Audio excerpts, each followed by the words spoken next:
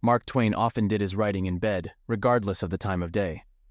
On one occasion, his wife came in to tell him that a reporter had arrived to interview him.